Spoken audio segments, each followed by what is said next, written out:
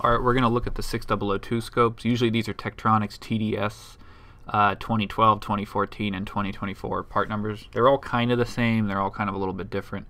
But in order to turn them on, you just up in the left corner, you push the power button like I'm showing right there. And you kind of got to be a little bit patient with these because they're going to take about 10 seconds to come on. So usually when you first push it, you know, don't just push it again if it doesn't do anything. It's going to run for a little bit. The green lights will come on and it runs a bunch of self checks. Let's just be patient coming up. We can daydream about what we're going to do this weekend.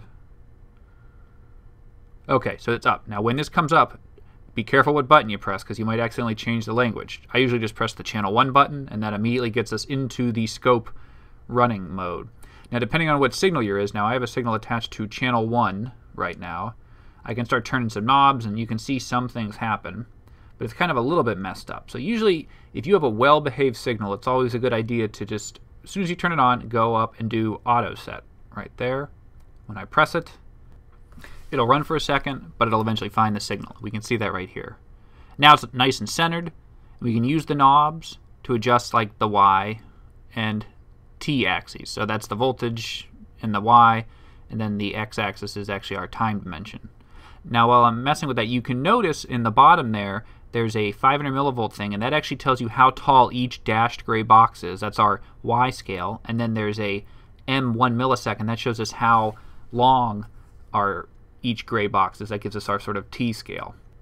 Right now what I'm showing is um, what happens when you mess with the trigger on the system. Now when you auto set the scope, it'll figure out what the trigger is. But you can also manually change that in case you're looking for particular events. We don't need to worry too much about that today, but it's just a thing, you know, we'll explore more later on.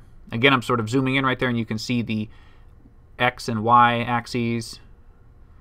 And I can also go up and press on the measurement button. And then on the right side, what you can get are some actual, which is really neat, little like automatically calculated things about the signal in question. So right now, it's showing the peak-to-peak -peak voltage as well as the frequency of the signal twice. Um, I don't want that. That's useless. So I'm going to make my third measurement be the period right here. Because I'm lazy. I don't feel like inverting my frequency to find my period even though we know how we could do that. And then I have that, and it's useful. And there's a lot of other mess, things you can mess with and figure out.